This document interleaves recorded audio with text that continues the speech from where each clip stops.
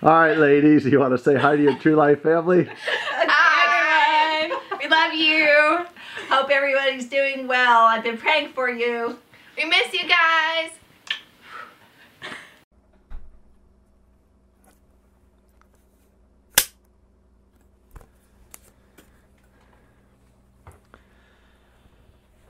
Hello there, True Life family. Um, it's a little weird. Not done this before, but since we can't meet tomorrow in person, um, it doesn't seem like we can have a lo- lot of personal contact in coming days. I wanted to be able to share with you some things. Um, going to miss you tomorrow.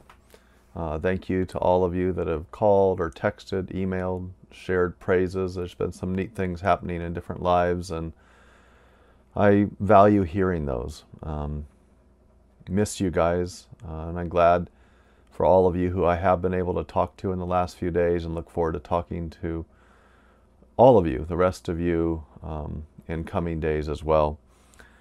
I'm sitting in my home office. Want to welcome you in. Um, this is where I spend a lot of my time studying, preparing teachings, making phone calls, doing announcements and things. Uh, probably no surprise to you that besides my books that I use to study and um, prepare with, it's an office that is decorated with coffee mugs, fossils, Western novels, um, filmmaking books, and memorabilia. Uh, it's kind of a little place of refuge for me as well, and I'm glad that you can join me here right now. So, I, you know, mentioned the fossils. It's something that as you know, if you've known me in any length of time, is a, a passion for me. I, I love looking for them. I, I love evidence for Genesis flood, uh, which validates the whole creation account of Genesis. And a, couple reasons. It, it lets me know that I can trust the Bible from the first pages to the last. And that's something, especially in times like this, I need to know.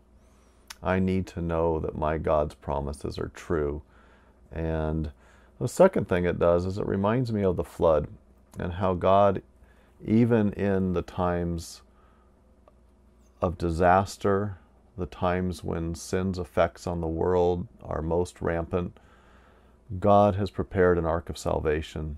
And I was reading Hebrews 11:7. It says, "By faith Noah, being warned by God concerning events as yet unseen, in reverent fear constructed an ark for the saving of his household. And then in Genesis 7:16 it says those that entered male and female of all flesh went in as God had commanded him and the Lord shut him in. I I love that dual picture.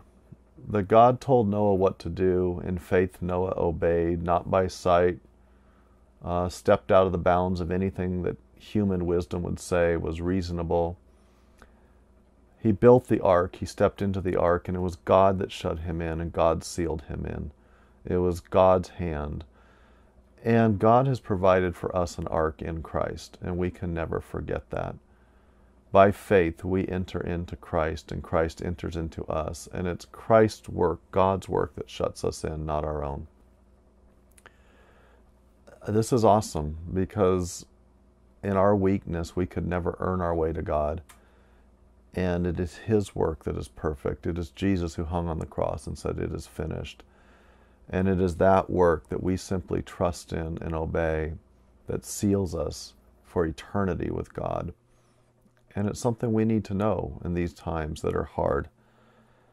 These are unprecedented times for us, for our generations, and we represent multiple generations in our fellowship. Um, I thank God that if we are to be isolated, that we're isolated in such a beautiful place. We can step outside and walk. We have beautiful scenery around here.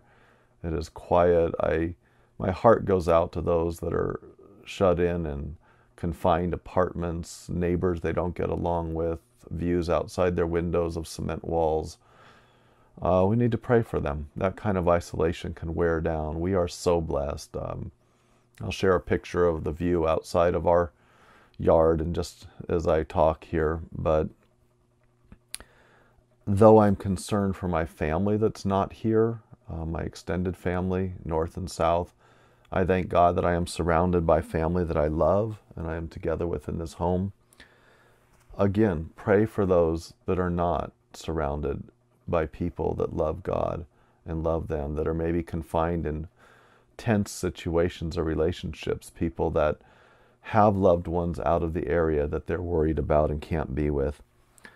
I want to share with you some things that will be repetition to the emails I've sent out, um, but I can hopefully bring it all together right now. Stan and Ruben and I have been talking and in regular contact since before the actual shut in that occurred for Monterey County last Tuesday.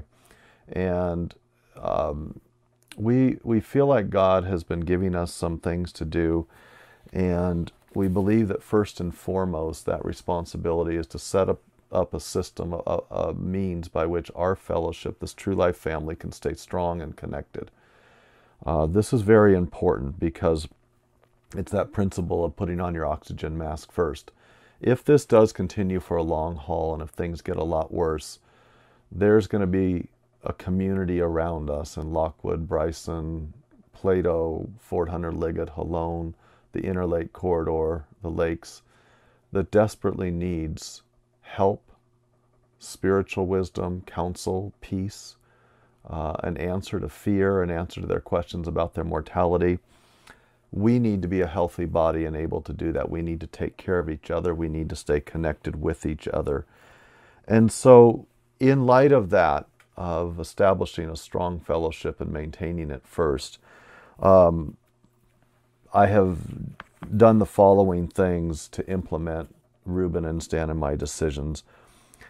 Again, some of this has been in the email. I'm just going to go through it. I have started to send out regular updates using the True Life email list. I will use this for things that are more private to our fellowship. I'm asking you to let me know if you, uh, through email, if you have needs or if you have resources you can share. I've had people say I'm willing to go help someone with projects. I have, you know, different things. I will send those out within our fellowship. I have updated the phone directory and emailed it out to the fellowship. I'll talk about that more later. I have established a Dropbox account for True Life for people um, to email me video files that are too large uh, to upload to me, video files that are too large to email or text. I'll talk more about that now. Um, I have established this True Life YouTube page. Not everyone is on Facebook and I'm not going to pressure everyone to join Facebook. I will post links to this page when there's new things onto the True Life Facebook page. Um, but it's again our belief we need to see each other and have a presence in each other's lives. That's why I'm welcoming you into my office right now. I intend to post regular video sharings. Um, I'll be soliciting videos from others in the fellowship to share here as well. Uh, I'm going to begin with the leadership and our worship leaders. I'm asking for songs from some of them and um, words of encouragement. If you have neat moments you'd like to share with the fellowship, uh, something you're doing in the isolation that's pretty cool, take a picture, email it to me. Um, I'm going to put the best email for you to use. I set up a Gmail account for the church that will give us, I think, pretty smooth access through email. So the best email for you to use to send me pictures or small videos, uh, that's going to be right here and on the screen as well. I'll put that email. Um, my personal email still works for those of you who have that. Um, at some point, I'm going to be contacting more people in the fellowship saying, hey, take a video, say hi to the fellowship, let us know how you're doing, let us see your smile, check in. And we'll just post those. Sometimes I'll embed them in the videos I share, other times I'll put them as standalones. Um, do remember the YouTube page is a public page, it's not a private. So don't say anything in there that shouldn't be said before everyone and anyone. Um, we'll save that for our, you know, if there's personal needs or things more private, we'll save that for the church email list.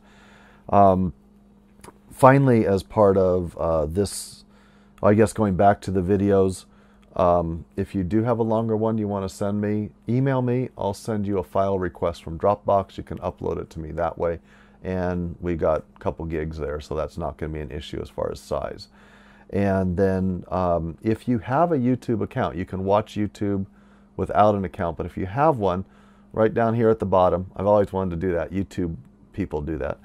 Right down here, subscribe um, click on the subscribe and then make sure your settings are such that um, you get a notification if there's a new post. But again, when I have new posts, I'll send it out via uh, our church email list and I'll put it on the church Facebook page.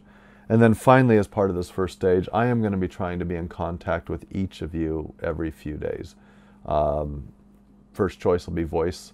Um, sometimes it'll be an email, a text. Um, just want to check in with you. Want to hear your voice, see how you're doing. Um, then, in the coming week and weeks, once this has taken a while to get all this established, once this is rolling, then what we are going to do is begin to look at ways that we as a fellowship, the body of Christ in this region, can reach out to the communities around us. Uh, they need what we have. They need Christ, and they need people who can step into their lives with words of hope, encouragement, uh, tangible action. Um, we have a Christian heritage of running to the hurting, and um, I want to live into that moment. Like Esther I believe, and I shared this Sunday, um, like Esther, we are here for a time such as this. Uh, in the next couple days, I'll take last Sunday's teaching and put it onto YouTube. I need to just put a blank video screen over it since it's only audio. Um, but that'll be up there too if you want to listen to last Sunday through a video medium. Um, I want to make sure we, like Esther, step into our moment. I don't believe it's an accident we're in this community. I don't believe it's an accident we are where we are. I don't believe it's an accident we have cultivated a strong fellowship, a family. And I want to be able to rise into this moment. I'll keep you posted in future emails, YouTube postings about how we can step into this moment as a fellowship. But keep in mind for right now, you are the closest contact someone has. You are the person someone who needs Christ, hope, and help has. You know people no one else in this fellowship knows. You are in contact with people no one else in this fellowship are in contact with. Ask God to lead you and guide you as to why He's put you in the moment and the place you are. I want to then, in closing, address a, a couple issues um, some of it, again, I talked about last Sunday. I've touched on in emails. I want to put it together. I want to speak to you. Um, first is isolation. Now, not all of you are isolated. Some of you are in what have been deemed essential work environments, and you are still in contact with people. Um, stay safe, be wise, let your light shine. Uh, others of you are isolated, but you're with larger family groups. You get along great, things are wonderful. Praise God. But we have a lot of people, even in our fellowship and certainly outside of our fellowship, that are isolated, are alone, um, and they need love. They need to be reached out to. Um, here are some thoughts on isolation. It was God who first said, Genesis 2:18, "It's not good that man should be alone. I will make a helper fit for him." It is God who created a family for himself. He created a family in us, the church, to spend eternity with, to share His love with. It is God who made us one body and reminds us over and over we need each other and we're only complete when we come together as a body and meet one another's needs. Community is from God and it's needed. So in this term, this is, this is a hard time. This goes against everything God's created us to be. We have a Christian history of Christians, a heritage of Christians in isolation who have thrived and grown in their relationship with God we can do this. We are surrounded by such a great cloud of witnesses. Keep in mind if you think this is overdone or if this isolation isn't a big deal, not everyone's the same. Some people handle it far better than others.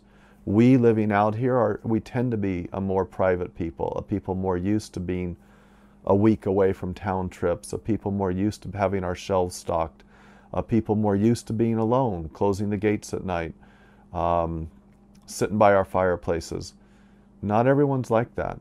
And we need to recognize that, to not judge, uh, to have compassion. Um, we may be in a great place of faith. There's others that are tremendously afraid right now for themselves or loved ones. Um, isolation can be dangerous, especially if it's coupled with fear. The enemy thrives in the darkness and the isolation. He takes the thoughts of fear, he takes the lies we believed, He multiplies them, He feeds on them. And if we aren't surrounded with a strong group of brothers and sisters in Christ and immersed in God's scripture and solid teaching, those thoughts start to run unchecked. As I said last week, fear cries loudly. It is a loud voice, and it's hard to hear God's quiet voice when fear is the dominant voice in our heart. We need to take our thoughts captive to God's words. We have to be vigilant. We have to reach out to others if our thoughts start to turn in a dark direction. We need to fill our hearts and souls with His Word and with His song. We need to, again, as I said, take captive those feelings, those fears. I've struggled with thoughts, fears. Where is this headed? What about the people I love? You know, what what'll happen if hospitals are overwhelmed? And I just have to keep reminding myself who I am in Christ. I'm His Son, and He's not going to let go of my hand, and He has eternity sealed for me. Um, these are the things that we have to be aware of uh, the effects of isolation on us and on people around us. As I mentioned earlier, you should have received in your email list last night an updated phone roster for TLCF. Use it. I annotated on that roster what are cells, what are landlines, so you know which can receive a text. Um, you have Stan and Ruben and my numbers on that list as well. Use them. Uh, for those of you who maybe are watching this, if you aren't in our email list and don't have that phone roster, I'm going to put Stan and my numbers on the screen. Call us if you need to talk, if you want to get connected with our family. Uh, Ruben doesn't live in the area, so I'm giving you us the two local elders, um, and we will reach out to you. Praise God, we are in a time when it's easy to stay in touch with people. The social media, the phones, the texts, but don't replace a voice with text. There are things that you will hear in someone's voice and places a conversation may go that you will never get in a text. Right now, um, we need hugs. We need that contact. And yes, Dave Landon, we need hugs. Anyway, um, we need that and we don't have it. We're isolated, but a, a voice is the hug of this moment call someone. I'm not saying texts are bad. I'm not saying a social media post is bad, but please look for those people you can call, and maybe not just your close circle of family and friends, but the ones who might not be being called by anyone else. Um, that being said, about the dangers of isolation, God has also shown us a biblical pattern for isolation. Jesus took time away from the masses and the busyness and the ministry to be alone with the Father and pray. He pulled his closest disciples aside and was alone with them. Um, he instituted a Sabbath rest for to step us, us to step aside from our work and draw close to Him. We have an amazing opportunity in this time that we have been ordered to take away from people, in many cases away from work. Let's use it wisely. Um, I made a list of some thoughts. We have time to pray with a passion and endurance. We have time to devour God's Word. We have time to fill our hearts and home with praise music. We have time to call and touch bases with others. We have time for many an opportunity to draw very close to the family that we are shut in with, a time to rest, a time to confront and take captive to truth the lies and little ways we have to let the enemy creep into our thoughts and choices. Um, there's an expression, busy stands for being under Satan's yoke. And God, uh, Satan can make us so busy, or we can choose to be so busy, that we lose sight of the person in front of us. Um, social media pulls us from the person right in front of us. Many of us have a time right now that we may never have in our life again with our loved ones to just love on them, to come up with creative ways, play board games, um, read the Bible together, be silly, laugh Laughter is good medicine. After talking about the brevity and the toil of life, Moses wrote to God in Psalm 90, verse 12 Teach us to number our days that we may get a heart of wisdom. We need to number our days. We need to be a wise steward of our time. We need to not forget that we are in a spiritual war with a real enemy, to love the one we're with, and to go closer to the one who gave us life. Keep God first, it's easy to crowd him out with social media, with news, with projects we've been wanting to get done. Keep him first. He gave us a Sabbath rest model of taking time away from everything to be with him. And to put Him first. Make sure we follow that model, not just on a weekly, but a daily basis. Give Him our first. Everything else will go better for that. Keep Him first. Keep the main thing the main thing. This is an amazing time. It's not one we would have chosen, it's not one we relish in, but we have an opportunity right now to grow incredibly as individuals, to grow in God's Word, and to reach out to people that might be more receptive to the answer to fear, to death, to depression. We have the answer, and it is Jesus Christ. And He lives within us, true life. Remember, the church is not shut in or locked down. We are the church. It has never been about a building, it is about the body of Christ. I want to finally uh, briefly address fear. It's not our friend. 2 Timothy 1 7 says, For God gave us a spirit not of fear, but of power and love and self control. Don't confuse fear with healthy caution and wisdom. There is a difference. God says not to be afraid or anxious, and He says not to test Him. Be wise, but be led by His voice and His life in you, His Spirit, not by fear. And know that He is far more concerned about the eternity of people on this earth than He is about our brief lives here. It's a balance that we each must find. We are each in different positions. We are each in different age categories, vulnerabilities because of health. We each have different people who depend upon us, who would have different effects if something happened to us. There's one audience we need to please, and that's Him. There's one voice we need to obey, and that's His. We need to be who He's called us to be, and no one else, nothing more and nothing less. Take fear captive to faith and the truths of God promises. Fix your mind on Him and let the peace of God flood you. Ask Him for His will in these days. Be open to what He might say. We're the light of the world. May the world find Him in us, not for the glory of true life, not that people say, oh, what wonderful Christians they are, or people, but that people would say, what an amazing God they have, that He gives them peace and hope in dark times. Godly music and praise is a massive frontal assault on the enemy. The music and praise are like light flooding a dark room and driving the darkness out. Replace fear with praise. Sing unto the Lord. Fill your house with that praise. Acknowledge His hand in every good thing in your life. Don't ignore your fears. Take them captive. Search His promises. Talk to your brothers and sisters in Christ about Him don't pretend you don't have fears or don't pretend or, or believe that they make you a weak Christian to admit you have them. We're broken people. We are hopeless against the course of this world without God, but we're not without God. We have Him, and don't forget that. Admit those fears. Don't make friends with them. Let's talk it out. Let's go to the scriptures. Let's find the promises He has. Let's be a family to each other that we can be light into this world. Guard your tongue when you're talking with people. Talk more about our great God than about the virus. Be cognizant that people you're talking to, especially if they've lost loved ones or something, and say, well, how could a God be loving if he'd let this happen? How could God be all powerful? These are questions we're going to get. Let's dialogue on it. How are you going to answer those? For me, the cross is the answer.